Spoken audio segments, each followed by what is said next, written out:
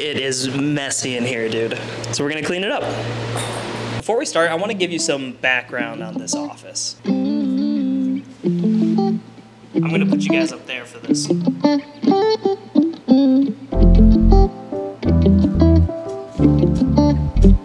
So I've been streaming every single day for the past almost two years now. I have the exact number here. Let me show you. There it is. Streaming since. Wait, where is it? 697. Almost 700 days straight. Every single day, without fail, not a single day off.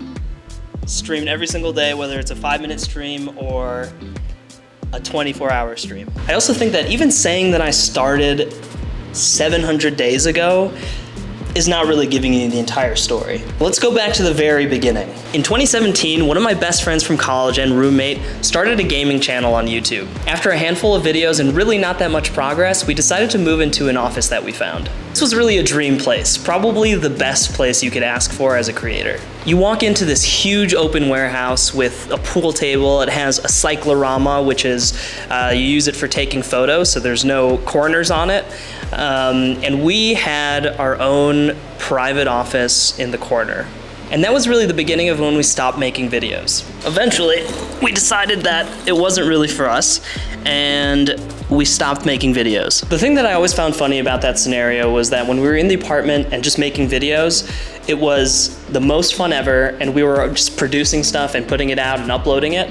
Um, and as soon as we moved into the office, everything got harder. This place that was supposed to make things easier and make the videos better had the exact opposite effect of it just making everything harder for some reason. It felt like there was more of a barrier to hit the record button and more of a barrier to upload something. And I'm trying to figure out why. Because fast forward seven years later and I'm taking a second attempt on this, that's exactly what happened with this office. In a certain sense, moving out of streaming in my bedroom and moving into this place marked kind of a desire to move on.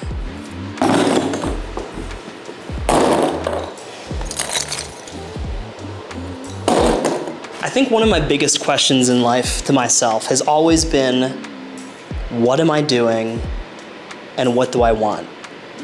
I never can figure out what I want. Usually that question stays dormant in my head for years and I never really know the answer. But then one day I wake up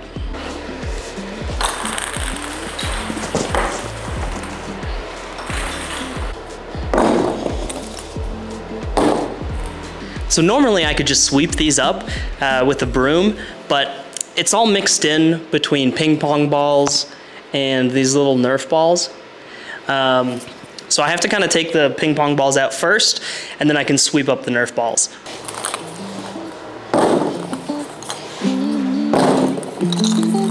All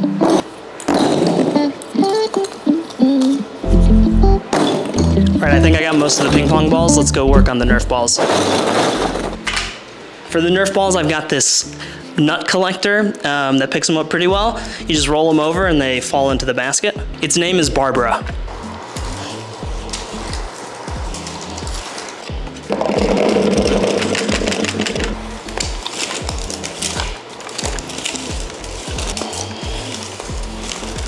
I think typically I just find something that I like and I put my head down and I just put everything into it until I don't feel it anymore and then I snap out of it. I think the paradox in content creation as a job lies in the sliding scale between what you want to do and what you need to do.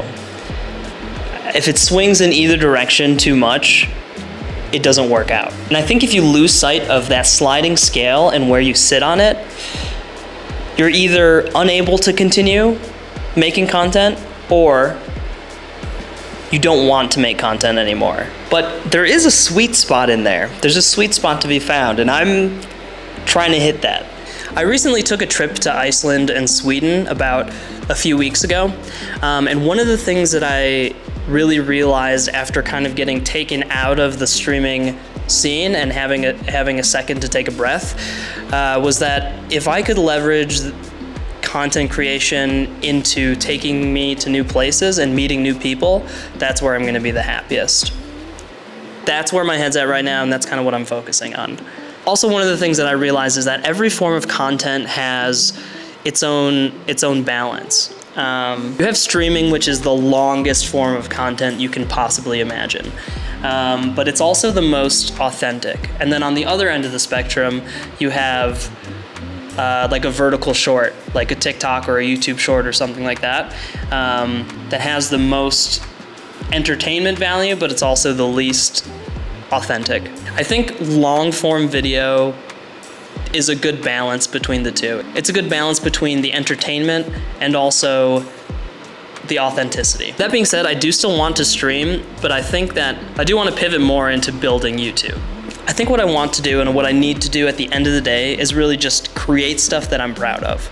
All right, I think we got most of the balls. There's still some in the corners left. Um, but that's pretty much all I wanted to say today. And uh, see you in the next one.